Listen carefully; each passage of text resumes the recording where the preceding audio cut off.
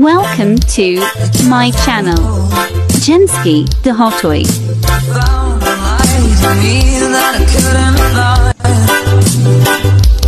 So